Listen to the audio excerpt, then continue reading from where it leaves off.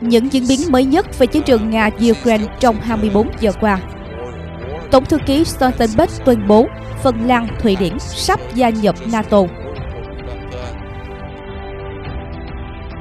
Ukraine thông qua luật, người nước ngoài có thể phục vụ theo hợp đồng trong tất cả các đơn vị quân sự của Ukraine. Tình báo Ukraine tiết lộ sốc, Kiev có tay trong rất thân cận với Tổng thống Nga Putin ở Điện Kremlin.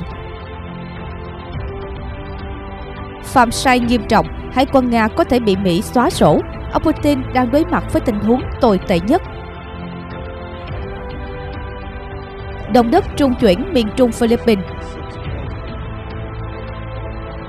Chậm điều tra dân số, Ấn Độ không biết nước mình có bao nhiêu dân. Ireland chấm dứt chương trình thị thực vàng được giới nhà giàu Trung Quốc ưa chuộng. Tất cả sẽ được gửi tới quý vị trong phần tin chi tiết ngay sau đây. Thì nghĩ rất vui khi được gặp lại quý các thính giả của kênh tin tức HTD News. Kính chúc quý vị và gia đình thật nhiều sức khỏe và bình an trong cuộc sống. Sau đây xin mời quý vị và bản tin chi tiết của ngày hôm nay. Tổng thư ký Stoltenberg tuyên bố Phần Lan, Thụy Điển sắp gia nhập NATO.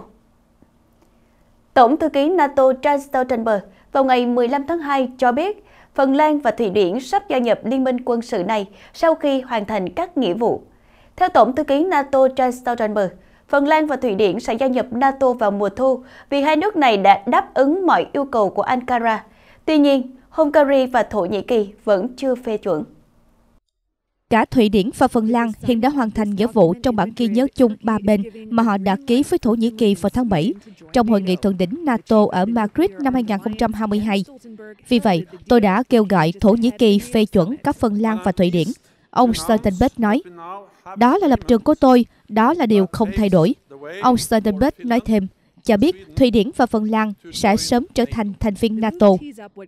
28 quốc gia thành viên đã phê chuẩn Thụy Điển và Phần Lan, còn Hungary và Thổ Nhĩ Kỳ vẫn chưa làm điều này.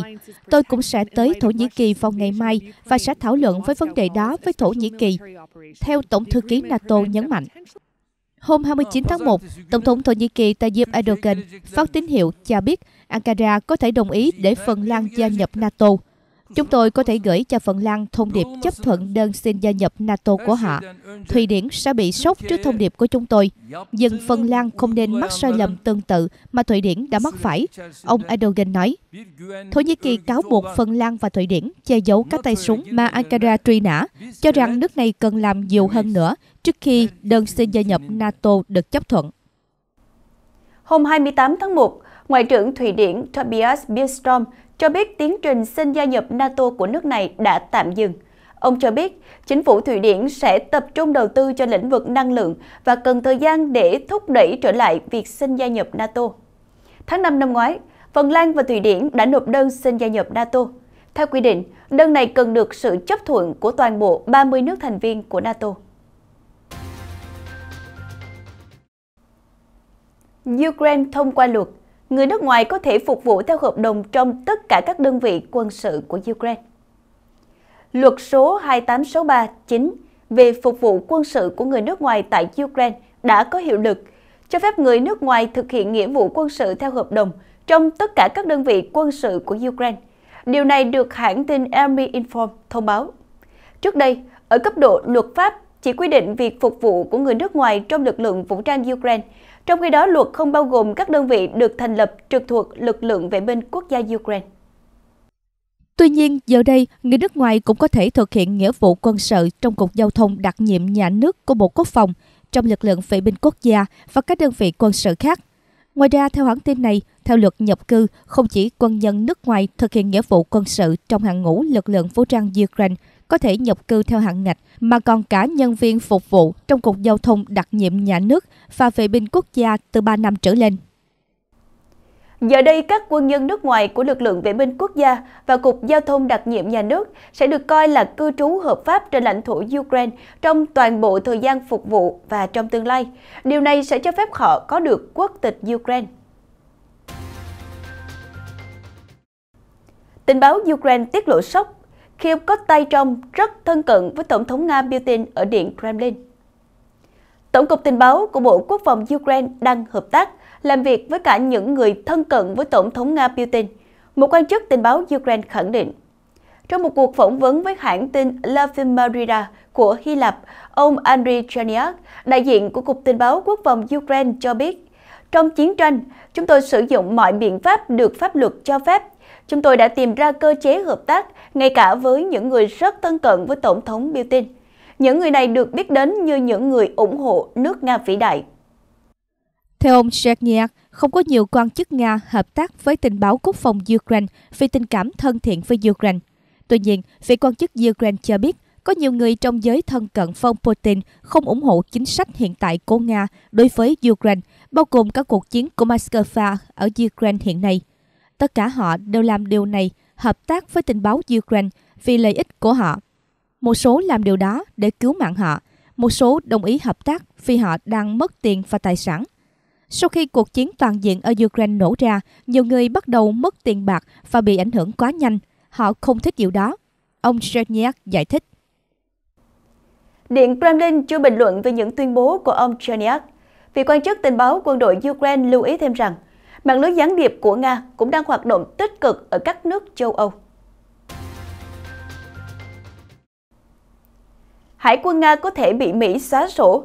Ông Putin đang đối mặt với tình huống tồi tệ nhất. Quý vị thân mến, cơ quan tình báo Na Uy NIS cho biết trong báo cáo thường niên rằng các tàu chiến thuộc hạm đội phương Bắc của Nga bắt đầu ra khơi với vũ khí hạt nhân chiến thuật trên tàu lần đầu tiên sau 30 năm, theo radar vào ngày 14 tháng 2.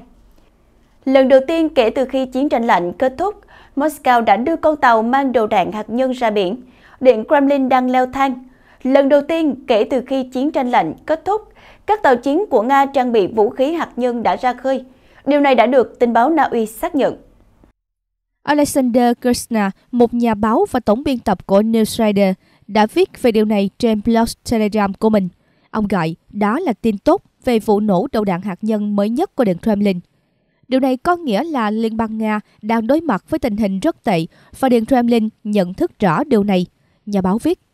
Đồng thời, theo ông, Điện Kremlin vẫn chưa hiểu rằng phương Tây đã không còn sợ hãi trước những trò lừa bịp hạt nhân. Bằng chứng cho điều này là việc Washington có kế hoạch công bố gói viện trợ quân sự mới trị giá 10 tỷ đô la cho Ukraine. Grosnary đã thu hút sự chú ý đến khả năng nhận thức tuyệt vời của NATO về mọi hoạt động của quân đội Nga, bao gồm cả các hạm đội. Nếu cần thiết, tất cả chúng, tàu chiến Nga, sẽ bị tiêu diệt trong vòng một giờ.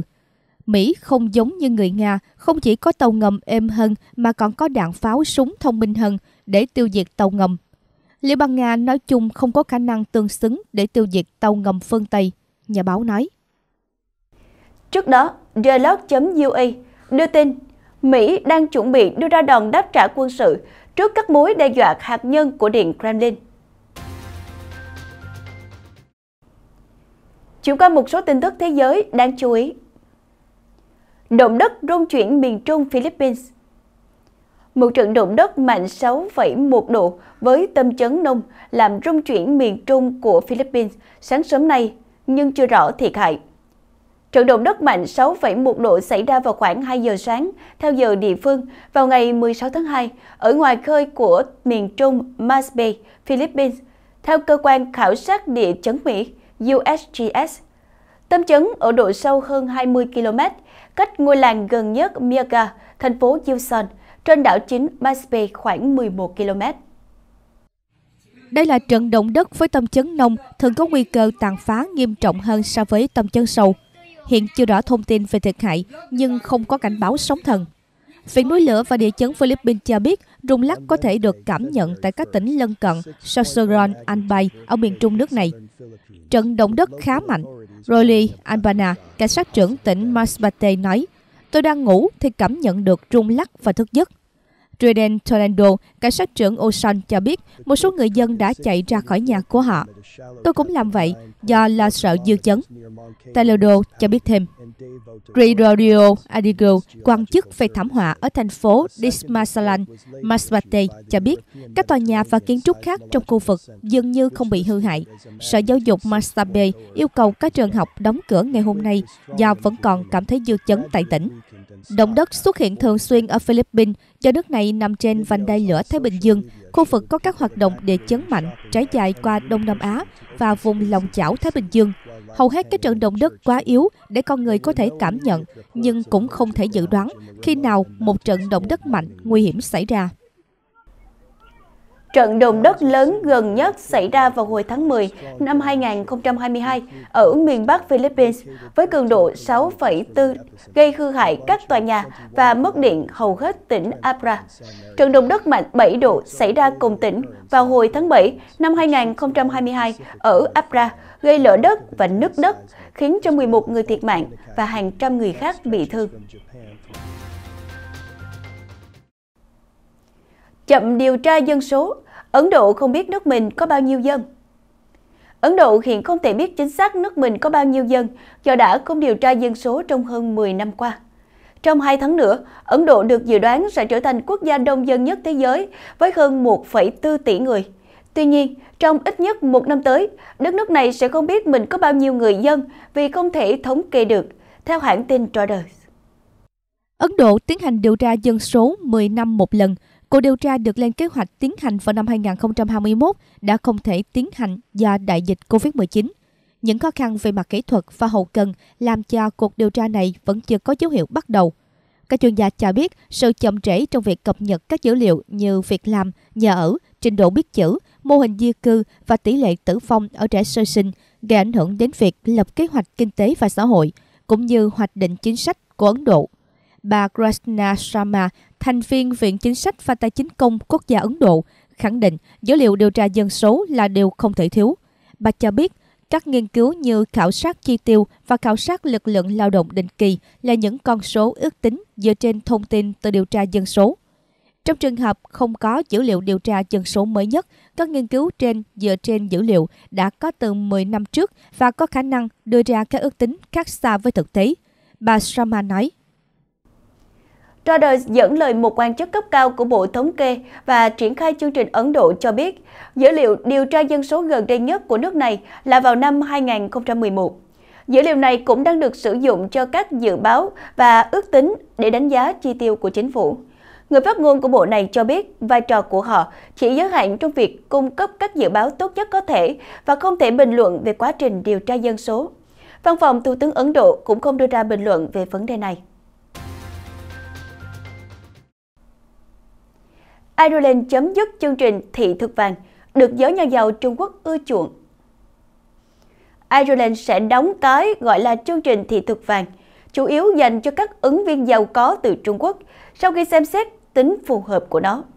Các đơn xin thị thực được chính phủ Ireland áp dụng năm 2012 cho các công dân ngoài EU có tài sản cá nhân ít nhất 2 triệu euro, 2,1 triệu USD sẽ không còn được chấp nhận sau ngày 15 tháng 2 Bộ Tư pháp Ireland cho biết vào ngày 13 tháng 2 trong một tuyên bố. Bộ trưởng Tư pháp Simon Harris cho hay, điều quan trọng là chúng tôi tiếp tục xem xét tất cả các chương trình, bao gồm mọi tác động đối với chính sách công rộng lớn hơn, chẳng hạn như tính phù hợp và có tiếp tục thích hợp hay không của chương trình này đối với việc mang lại lợi ích cho kinh tế, xã hội và văn hóa. Chương trình nhà đầu tư nhập cư được thiết lập như một con đường dành cho các công dân không thuộc khu vực kinh tế châu Âu EEA để đảm bảo họ được phép nhập cư trên cơ sở đầu tư dài hạn vào một loạt các lĩnh vực. Theo chính phủ, kể từ khi thành lập, chương trình này đã phê duyệt khoản đầu tư khoảng 1,25 tỷ euro. Tuy nhiên, đăng ký chương trình này đa số là các công dân Trung Quốc, chiếm khoảng 1.458 trong số 1.547 đơn đăng ký được phê duyệt cho đến ngày 23 tháng 6 năm 2022, theo dữ liệu mà chính phủ cung cấp cho Quốc hội vào năm ngoái. Số liệu này đã khiến các quan chức của Bộ Tư pháp đưa ra khuyến nghị trong năm 2022 rằng nên tạm thời dừng chương trình, tờ Irish Times đưa tin. Tuy nhiên, chính phủ cho hay họ sẽ tiếp tục xem xét việc thực thi chương trình này. Quyết định hủy bỏ chương trình thị thực đầu tư của Ireland được đưa ra một năm sau khi nước láng giềng Vương quốc Anh hủy bỏ kế hoạch thị thực vàng của chính họ. Chương trình này trao quyền sinh sống tại Vương quốc Anh cho những người đã đầu tư 2 triệu bảng Anh, tương đương với 2,4 triệu USD và cũng được người Trung Quốc cũng như người Nga ưa chuộng. Và thông tin vừa rồi cũng đã kết thúc nội dung phần tin tức của chúng tôi tại đây. Mọi ý kiến đóng góp cho chương trình Xin quý vị để lại ở dưới phần bình luận hoặc gửi qua hộp thư htdnews.btv.gmail.com Một lần nữa, đội ngũ HTD News rất mong nhận được sự ủng hộ của quý vị khán thính giả. Xin chào và hẹn gặp lại ở bản tin kế tiếp.